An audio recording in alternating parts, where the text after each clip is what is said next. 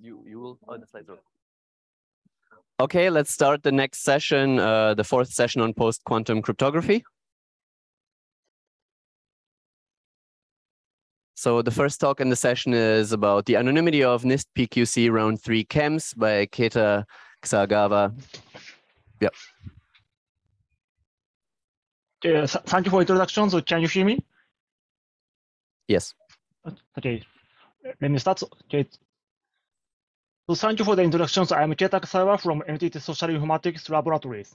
So today, so I want to talk about anonymity of KEMs in uh, NIST PQC standardization, following the Maram's talk. So let me first talk about the background. So we know that several companies and organizations have been developing quantum computers. So for example, so Google, IBM, and UCSD, and so on. So they constructed approximately so 100 physical qubits quantum machines. So Google plans to develop a 1 million physical qubit machine in uh, 2030, and IBM plans to develop 4,000 4, uh, physical qubit machine uh, in 2025. And we also know that the Shor's algorithm solves the factoring problem and the discrete logarithm problem in polynomial time over quantum machines. And uh, in addition, so according to Gidney and Ekerå's estimations, so if the error rate is uh, 0.1% and it runs with about uh, 1 kilohertz. Then so it can factor the 248-bit RS modulus by using the two, uh, 20 million physical qubits in 8 hours. So thus, so if an adversary has efficiently uh, has efficient scalable quantum computers, so then the current public key cryptography will be broken. And the countermeasures are in the right-hand side. So the one promising countermeasure is the post-quantum cryptography, so PQC in short. So therefore, the NIST in the US uh, have been standardized PQC primitives. So here, so uh, we have KEMs and signatures. For uh, so key, key encapsulation mechanism and signatures. So for KEMs, so they select the four finalists and five alternates uh, in the left-hand side. So while NIST said that uh, that they would announce the result in March, but we don't hear the result yet. So the standard, uh, so here, so we consider the security of KEMs scheme. And the standard security notion for PKE and KEM is uh, indistinguishability against the chosen ciphertext attacks, so uh, the left-hand side side. And all NIST PQC round 3 KEMs achieve IND-CCA security in the random oracle model, a classical random oracle model. So roughly speaking, so the IND-CCA security implies that we cannot distinguish uh, a ciphertext with real key and a random key. So this K0 is a real key and K1 is a random key in the KEM context. So unfortunately, so is the IND-CCA security doesn't imply the recipient's privacy. So for example, so let us consider the KEM scheme whose ciphertext contains a public key. So in this case, so it, uh, so it can achieve IND-CCA security, but uh, such ciphertext apparently reveals the recipient. So therefore, so we consider anonymity, so, so uh, anonymity against the student ciphertext attacks. So this captures the privacy of recipients. So because that, uh, so if the adversary so uh, two encryption key EK0 and EK1, but so he, uh, it cannot distinguish uh, which encryption key is used to generate ciphertext and key. So this is a uh, define this defines the anonymity of the KEM scheme. So they have a lot of applications of anonymity, uh, for example, anonymous credential and auction and anonymous authenticated encryption and so on. And, and uh, so privacy enhancing technologies. So uh, we have natural question of so whether the KEM candidates of NIST PQC round three achieve anonym, uh, this anonymity uh, anonymity in the quantum random model. Uh, so because we consider the PQC. Uh, so this is the, uh, the summary of this result in uh, Grubbs, Maram, and Paterson. So in this Eurocrypt. So they studied a natural question uh, and obtained the following tables. So they showed that the uh, variant of FO, this FO with implicit rejection has uh, anonym anonymity, anonymity. And so it leads to uh, robust hybrid PKEs. But unfortunately, so there's a lot of problems on uh, four finalists. So for example, so classic McEliece uh, doesn't have uh, anonymity, and uh, Kyber and Saber uh, has no anonymity results, and NTRU has no anonymity results.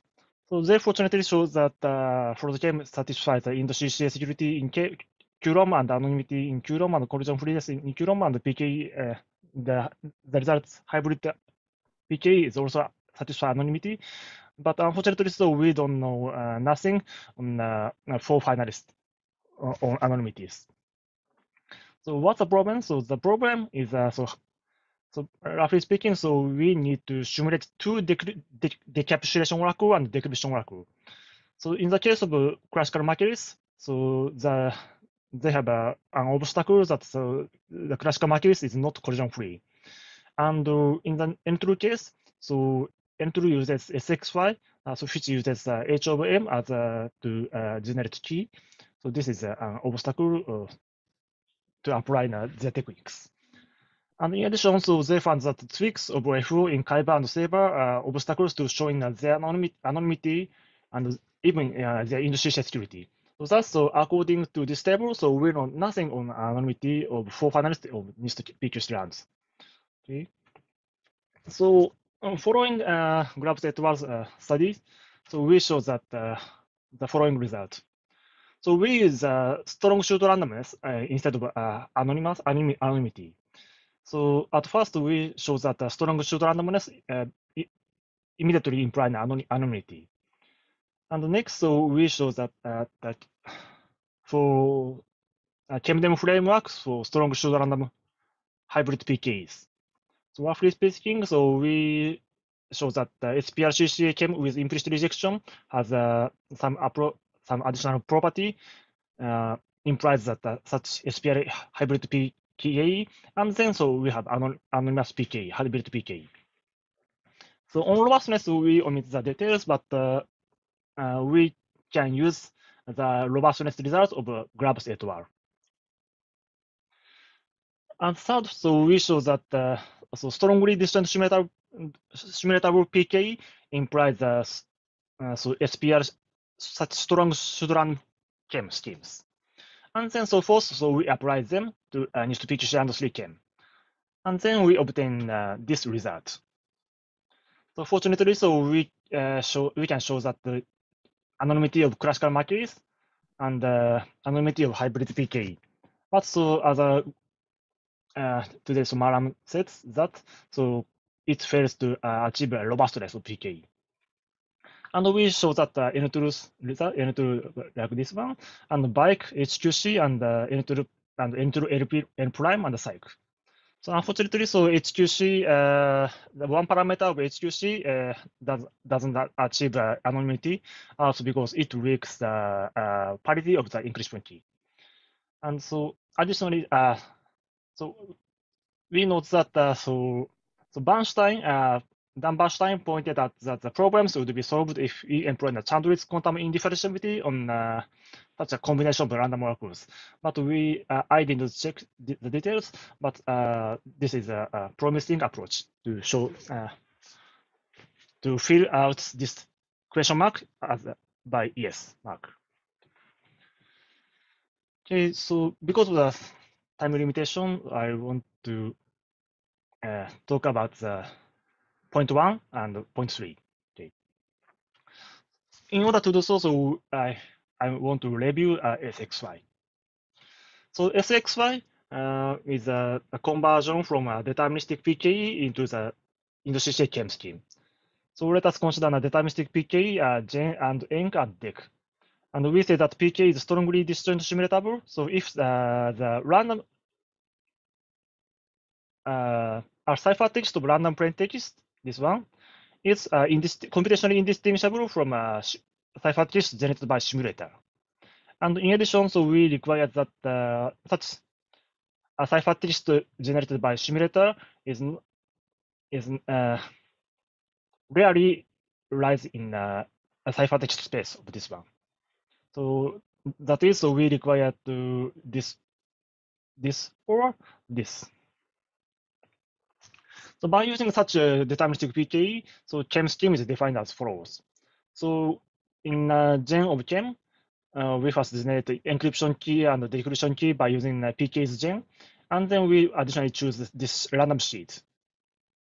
So in encapsulation, we uh, it randomly select this plain text, and it encrypts this M by using the EK and obtain a CT. And for a session key of KEM scheme, so it uh, computes K as uh, this H of M, and then returns it, returns ciphertext and K. So in decapsulation, so uh, receiving a ciphertext, it first compute the M prime as a decryption result. Then so it uh, if the receiving ciphertext is uh, re-encrypted M ciphertext, then so uh, it output the K as a hash of M prime. So otherwise, so it's output the random, uh, pseudo random uh, this K. So this is a uh, SXY.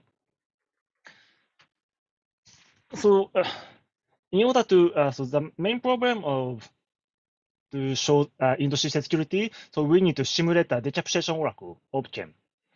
So in order to do so, so SXY uh, using this approach. So they uh, define the hash of M as another hash of Q of encryption of EK and M. So by using this approach, so we can simulate uh, decapsulation oracle as a HQ of ciphertext. And in addition, so if we uh, replace a real ciphertext with uh, ciphertext generated by simulator. So then uh, this is, will be looks random uh, from uh, the adversary. So by using this approach, these facts, so uh, SXY uh, proves industry security of KEM scheme as follows. So we want to show that this line is equal to this line, uh, computationally distinguishable this line. So in order to do so, uh, we consider the hybrid games between uh, this, this three, three hybrid games. And so we can uh, show that uh, at first we replace the decapsulation oracle with H of Q uh, by simulating the decapsulation oracle. Then so we can replace this ciphertext with a simulate uh, ciphertext generated by simulator. Then so we can uh, we can show that this K, real K is indistinguishable from a random K. Then so replacing uh, by using a reversed approach, so we obtain uh, this final line. So this is what uh, SXY did in uh, to show the industry security. So by using uh, this approach, so let us consider uh, what uh, and Maram and Paterson did. So uh, let us consider the uh, apply uh, Edwards approach to show the anon ANOCCA security on SXY. So in the case, so we need to simulate two decapsulation oracle uh, since we don't know uh, DK0 and DK1. So therefore, so in order to do so, so uh, GMP uh, uses a, a modifying a hash function as this this one, uh, K as this one. So instead of H of M, so they use a H of M and C. And so they define the H of MC as a HI of C if uh, encryption of EKI and M is a input ciphertext, and otherwise, so it output the H of Q, uh, HQ of C. So by using this uh, de definition, so uh, the decapsulation oracle uh, for DK0 is uh, simulated by uh, this H0 of CT, and the decapsulation oracle for DK1 is simulated by the H1 of CT. Well, this is a, a, a, a grab, grab set approach. So unfortunately, so there's a problem. So this this simulation require uh, weak robust, robustness. Uh, so this means that the uh, underlying PKE, so this green PKE is uh, collision freeness. So therefore, so we cannot apply this approach to the classical classical McEliece uh, because classical McEliece is not collision free. And in addition, so uh, to show anonymity, so we need to, need to modify this H, H of M instead of, uh, so we need to modify H of MC instead of H of M.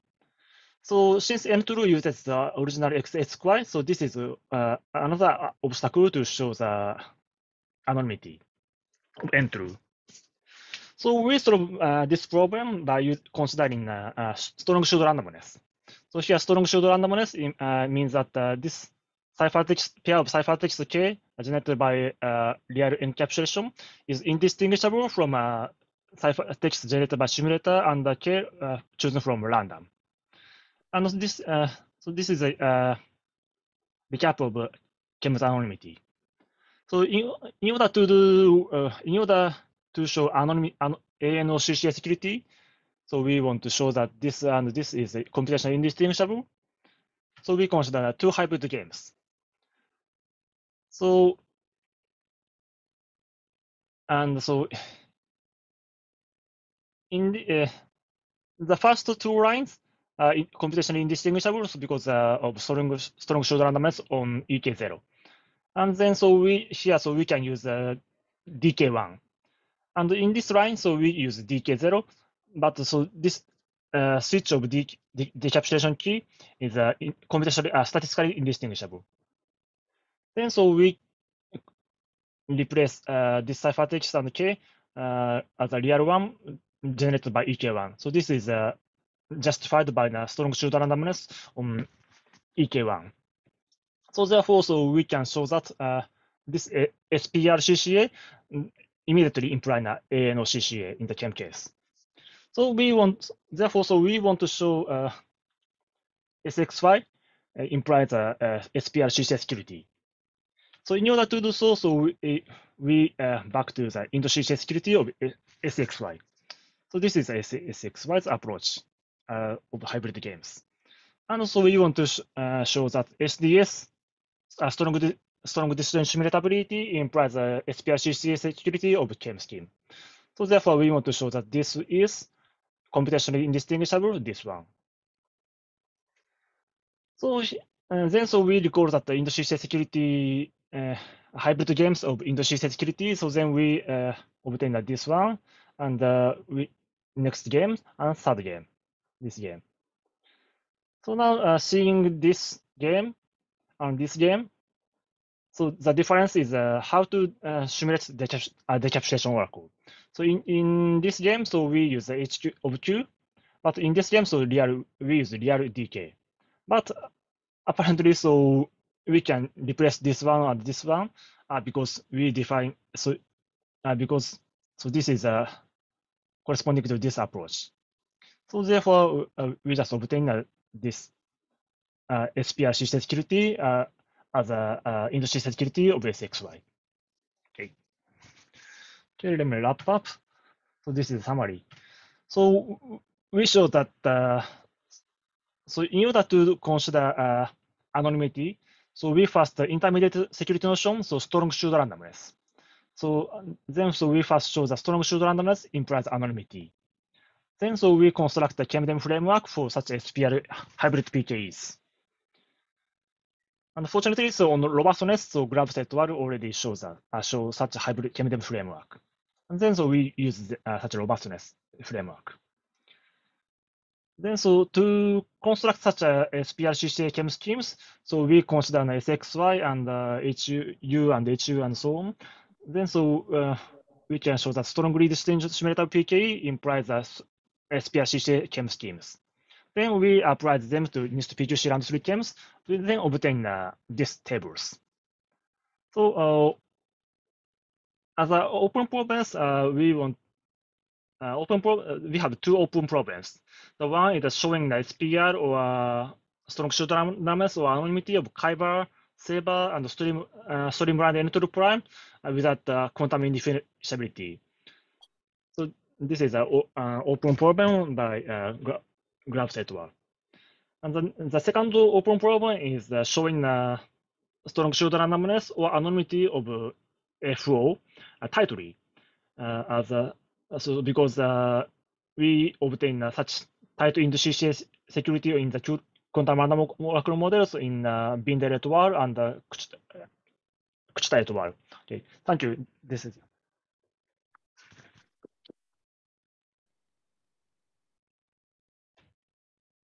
Any questions for the speaker?